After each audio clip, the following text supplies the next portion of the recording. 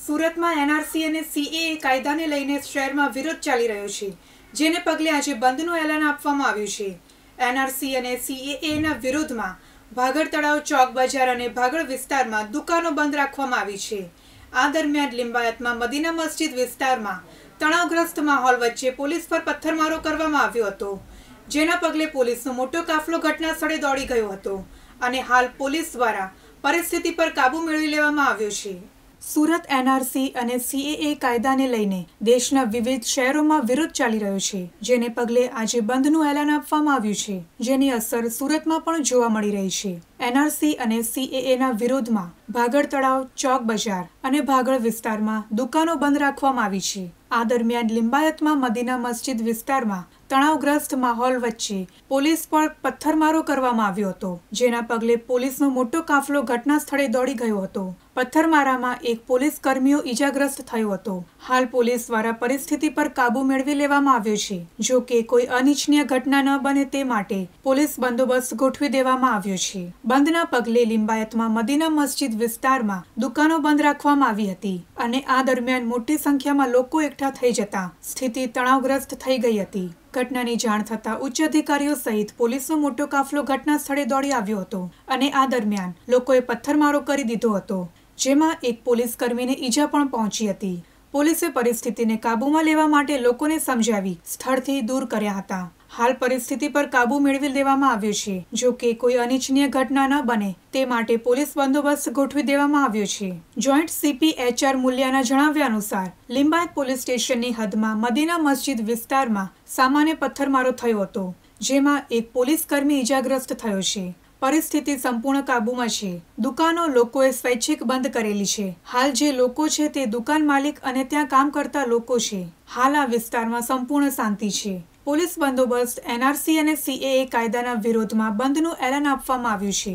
ત્યારે સુરતમાં પણ વિરોધમાં જોડાવાના નિર્ણય કરતા વર્સેટાઇલ માઇનોરિઝમ ફોરમ દ્વારા બંધનું એલાન આપવામાં આવ્યું છે, જેમાં શહેરના રાજમાર્ગ વિસ્તારમાં દુકાનો ધરાવતા સેંકડો વેપારીઓ પૈકી કેટલાક પોતાની દુકાને બહાર પોસ્ટર લગાવ્યા છે, જેમાં લખ્યું છે કે, તારીખ ઓગણત્રીસમી જાન્યુઆરીએ સીએએ અને એનઆરસી કાયદાના વિરોધમાં દુકાન બંધ રહેશે, જો કે તમામ વેપારીઓએ આ મુદ્દે સમર્થન જાહેર કર્યું નથી.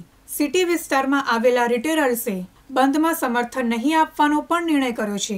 ભારત બંધના એલાન અને ભાગળ તળાવ ચોક બજાર અને ભાગળ વિસ્તારમાં દુકાનો બંધ રખાઈ હોવાના પગલે પોલીસ પણ સતર્ક થઈ ગઈ છે. કોઈ અનિચ્છનીય ઘટના ન બને તે માટે પોલીસ દ્વારા બંદોબસ્ત ગોઠવી દેવામાં આવ્યો છે. વિસ્તારમાં મદીના મસ્જિદ ચાર રસ્તા પાસે સવારે દસ વાગે દુકાન બંધ કરવા બાબતે એક સામાન્ય પથ્થરમારો થયેલો જેને લીધે જેને લીધે આ વિસ્તારના લોકો રોડ ઉપર આવી ગયેલા હાલ પરિસ્થિતિ સંપૂર્ણ કાબૂમાં છે પોલીસનું પેટ્રોલિંગ ચાલુ છે.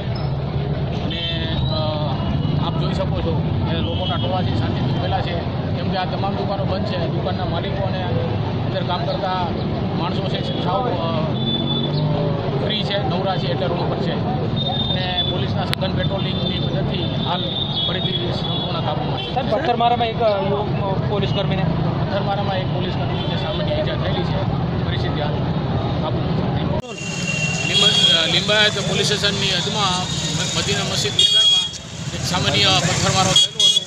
એમાં એક પોલીસ કર્મચારીને સામાન્ય ઈજા થયેલી છે. પરિસ્થિતિ સંપૂર્ણ કાબૂમાં છે.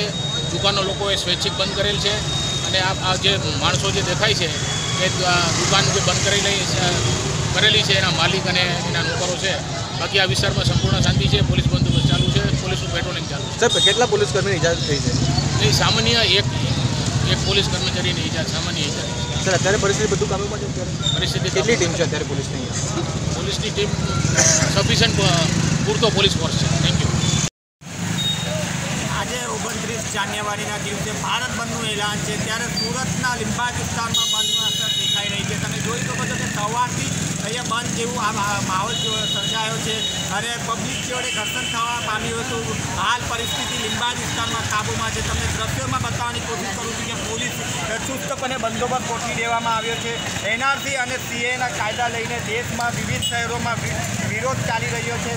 જેને પગલે આજે બંધનું એલાન આપવામાં આવ્યું છે. જેની અસર સુરત જોવા મળી રહી છે.